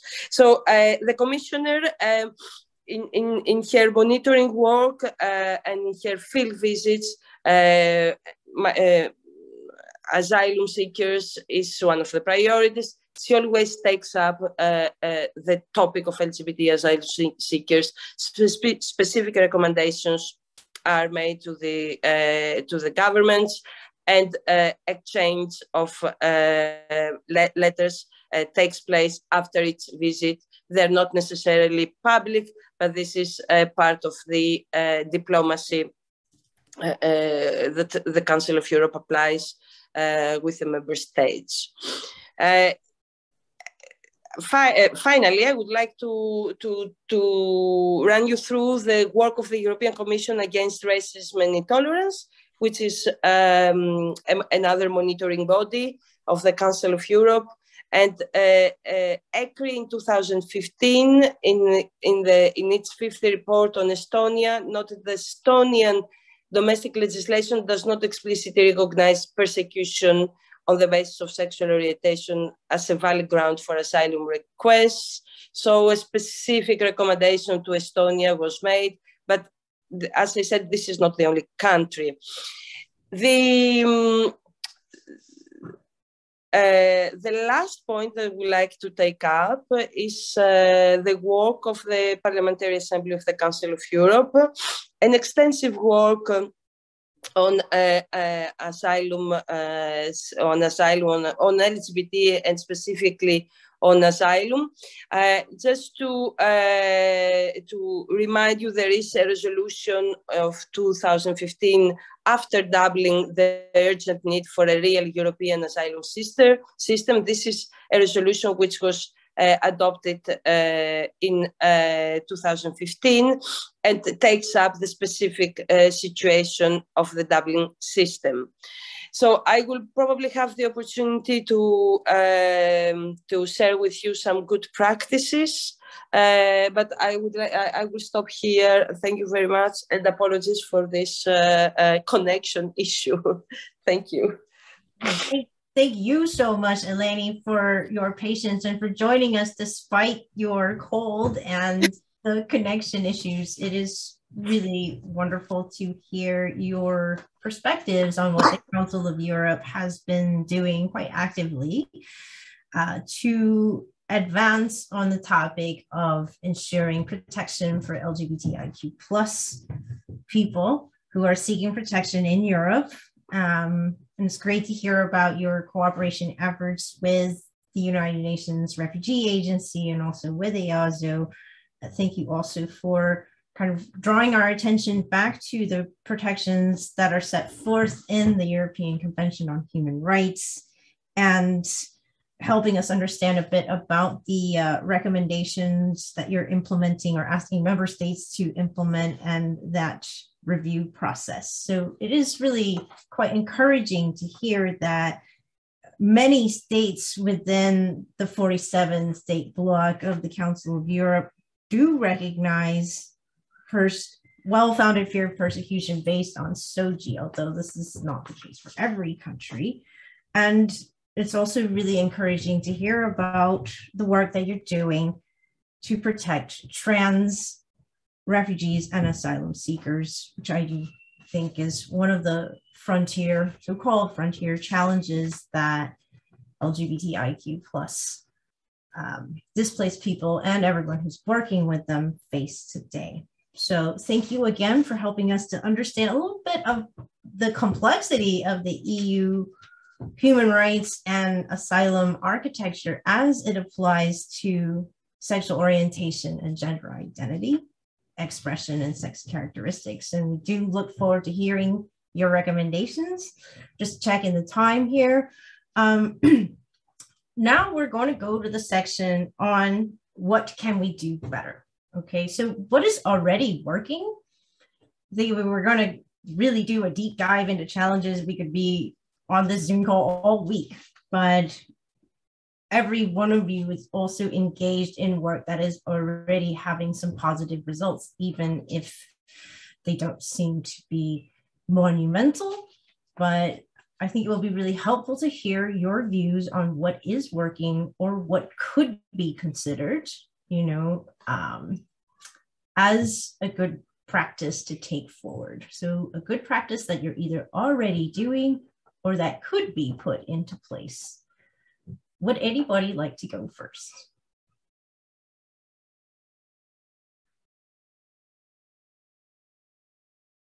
I'm seeing some people being a little reticent, so I'm going to call on people. I'm going to call on Ronja first. Ronja, you're on mute. Uh, I, and I, I, I, am still a little bit puzzled by what what Leni said because uh, I, uh, I do see mainly the problem that if we are facing on Dublin three, uh, all the member countries, or what what my experience is, Germany is not considering that as asylum procedure. That's my my my first concern.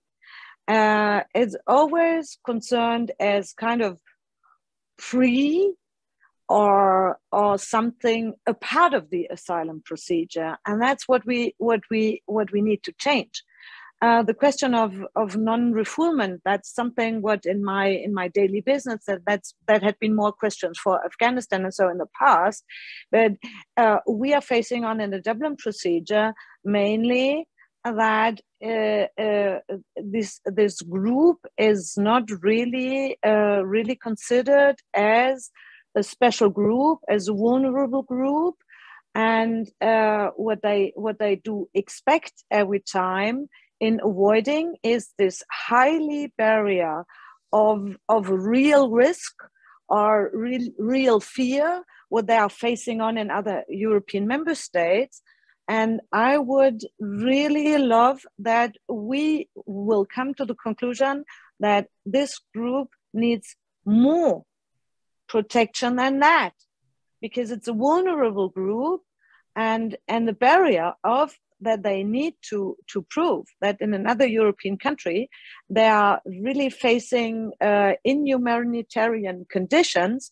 That's something that I, as a lawyer, I will not get uh, uh, the right in front of court because the court will not accept that I consider France as not being able to take care about uh, LGBTIQ plus members in, in general. So that's what I'm facing on. And, and I'm really dreaming of that we might come in the future to the conclusion that this group needs more protection really apart what's considered from the human humanitarian rights uh, because even the, but that's that's something for another panel that I have really to fight on for uh, for the asylum. Then further on, for some countries where we would all or where we all know that they have problems, but here in Germany they are not considered as as asylum seekers in the end. So uh, I, I, would love to bring an example what I did in the past because uh, in, in my daily practice I, I, I need to to to to stay with the with the with the people or with with the person in front of me on a focus and and in in claiming and claiming just to the to to the high court is not he, helping him in his daily daily stay here in in Europe. So uh, I was facing on in the past really two, uh, two, two. Uh, yeah, it was two mostly at the same time. People who came over France, asylum seekers, gay ones, and and I said to them, okay, we we, we might claim against.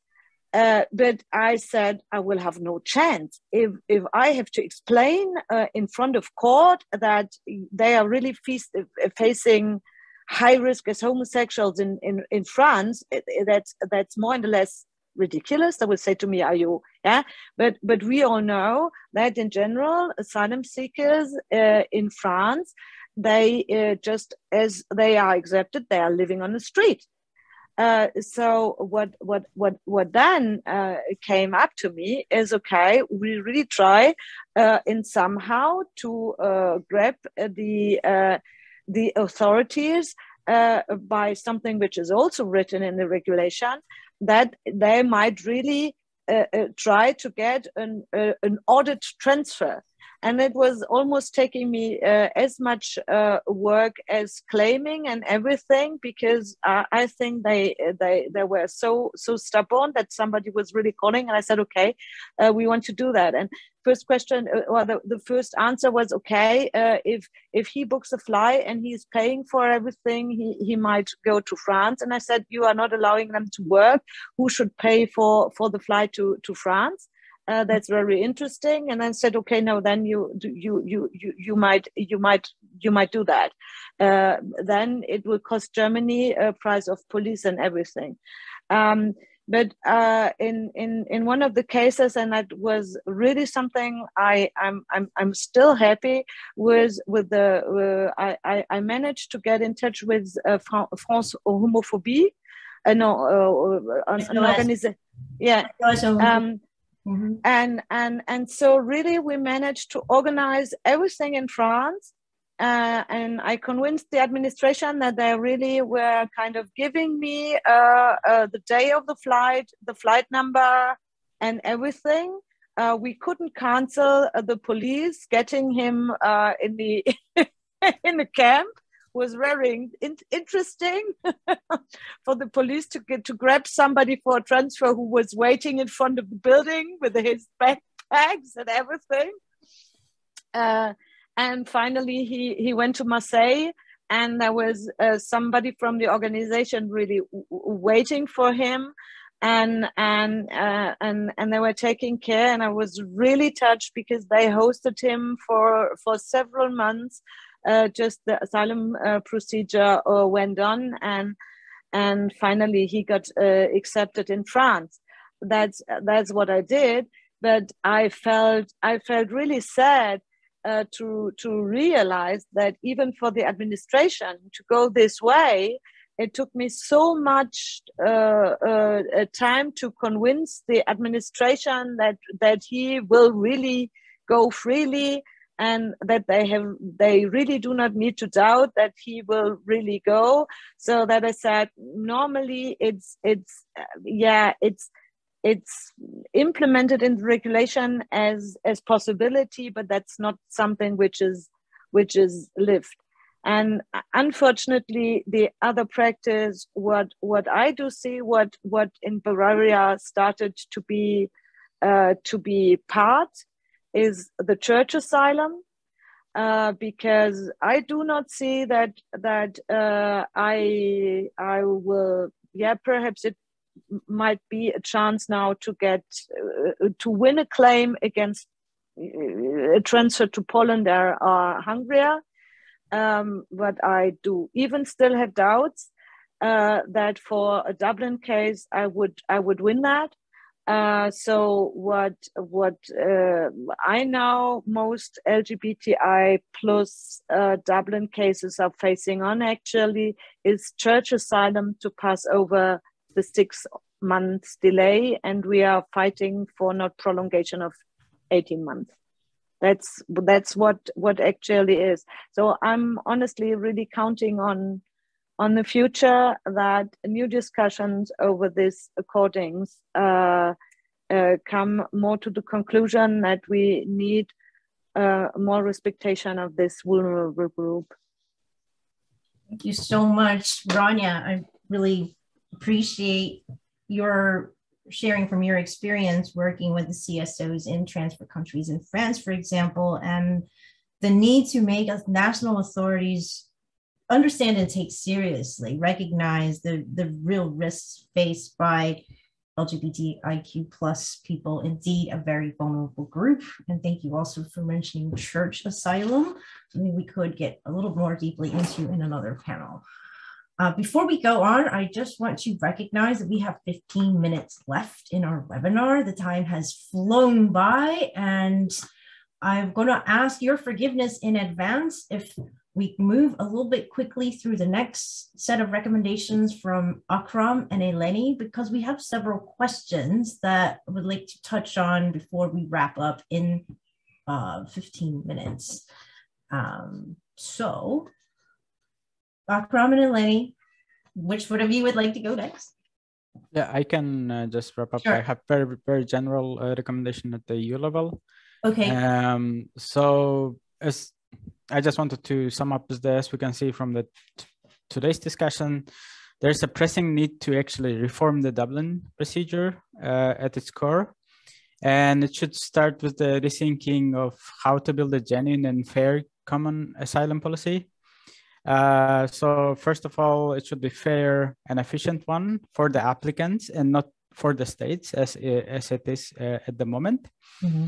Uh, and um, but we do see that uh, in the current reform, uh, which is uh, go going on under the uh, this new pact on asylum and uh, and migration, uh, which Commission put forward, that most of the um, most of the provisions of the current Dublin system remains, and the criteria they also remain.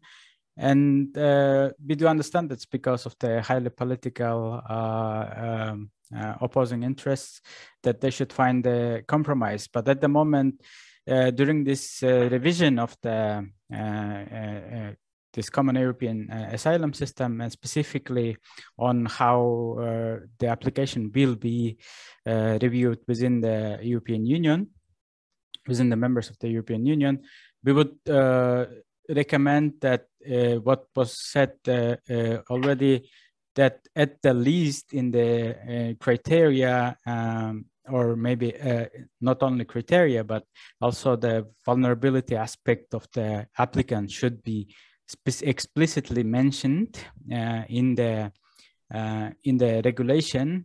And also it should explicitly mention LGBTI people uh, as a group uh, for the exceptions. Uh, so this would be the the least uh, what uh, the Commission, uh, Parliament, and the Council could do at the moment.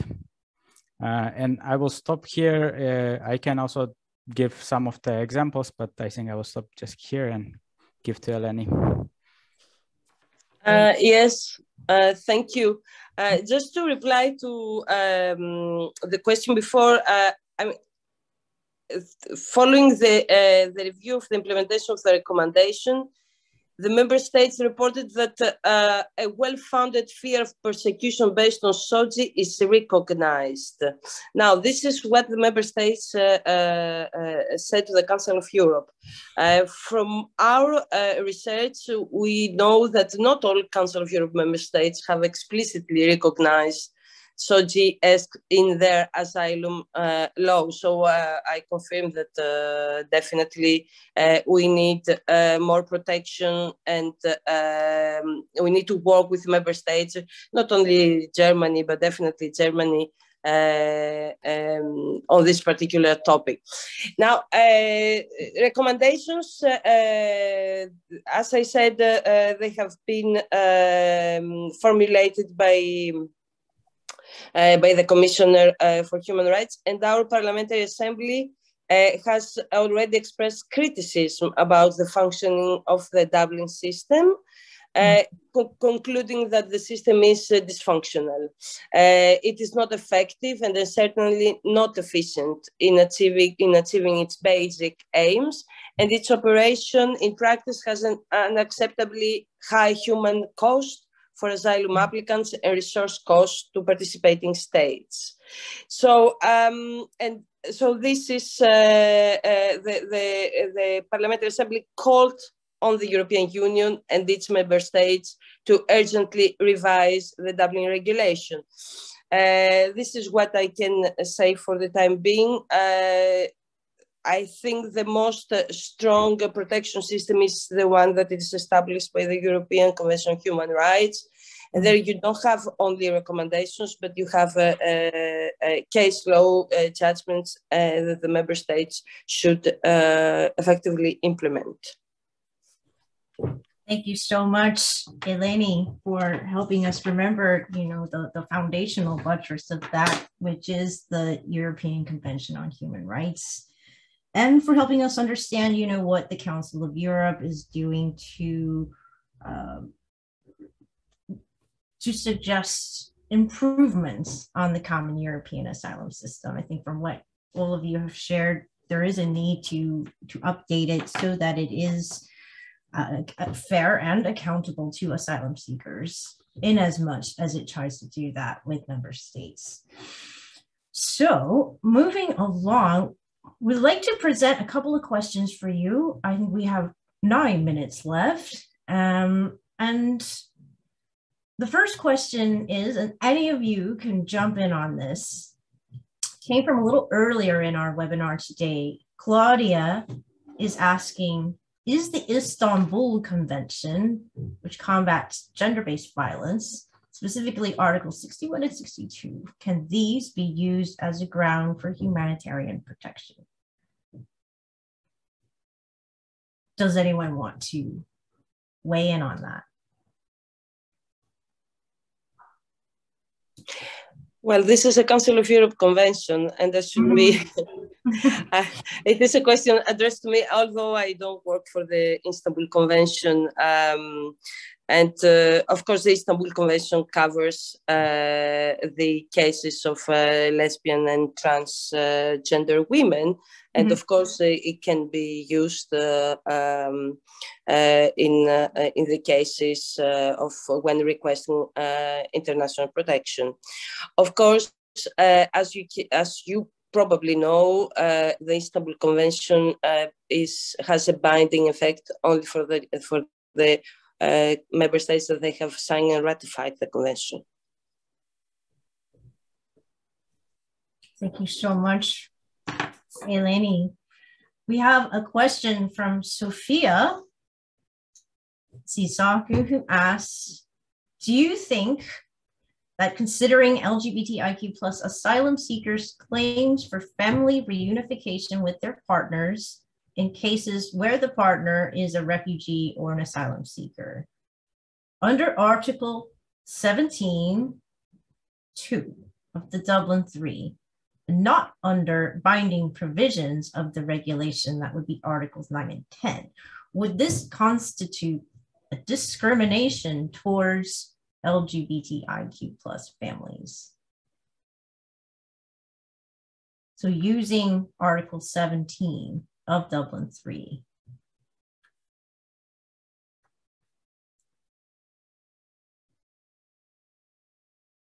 Uh, I can jump in, Eirene. Sure. Uh, as I touched these uh, articles, mm -hmm. I think actually that uh, as um, we can see in the article two of the definition as to what's the family member, uh, this is it can be interpreted as a LGBT inclusive, as maybe Sophie already knows, but it also depends on the what in these uh, member states, in the specific member states, uh, who they um, consider as a spouses, for example, legally, and they and they also require very different types of types of document. How you can prove that you are in the long, stable relations. Uh, to be considered, for example, as your spouse or uh, de facto spouse. And that's why it should be considered under the mentioned articles.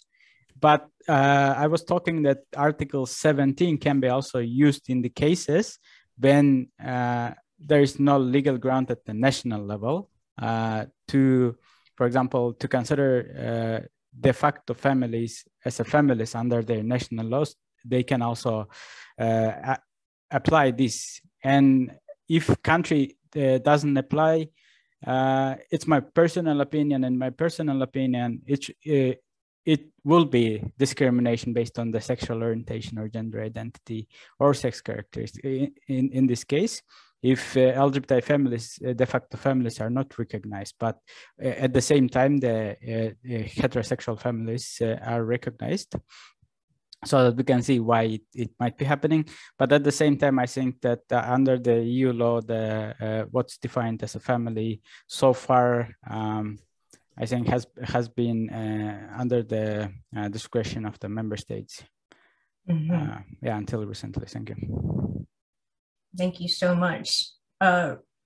Ronja, before I ask you to unmute, we have one final question coming in from Pavel Matuz at the City of Leipzig. I only wanted to to to yeah. to add something because your question was uh, sorry to to add because we need probably to clarify the other question because in the beginning it was it was it was uh, two asylum seekers or already somebody who was accepted in in one country that's something what we really have to dis- distinguish because if we if we do have really accepted asylum uh, uh, so so-called refugee in Germany and he went to be reunion uh, with with uh, with his partner then we are out of the Dublin uh, three accordings. That's only was what I really wanted to to to to put in because then we we are really on the, on, a, on another level because then we are in the ordinary familial reunion.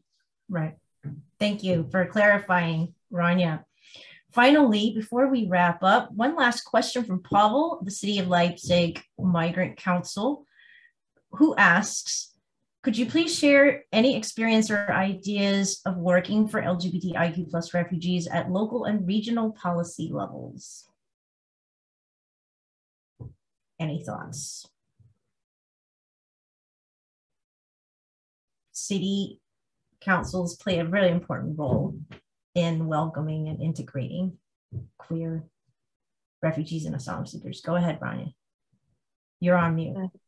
Uh, I, I, I really, I'm, I'm focusing on uh, the really often the problem that a lot of those refugees uh, uh coming here is really not aware that LGBTI uh, plus uh, problems are really uh, something that they what they absolutely need to mention.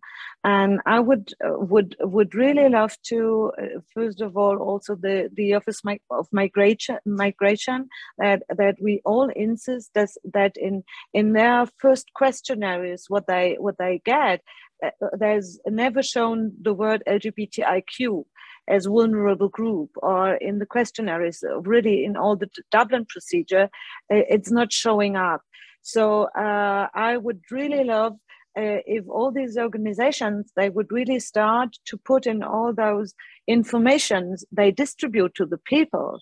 Uh, in the beginning that there must be some informations about lgbtiq uh, in mm-hmm. in in in terms of that's what we what we discussed with those social workers in one time.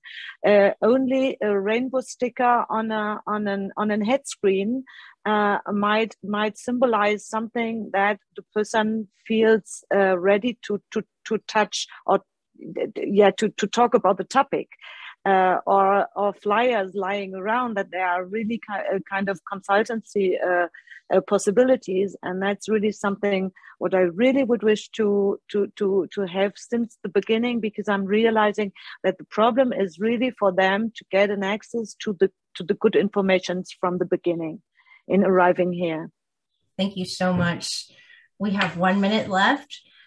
May I invite the, the three speakers? You have about 10 seconds to share any last words, 10 seconds apiece, and then we're gonna close it for, for now. Okay, Akram.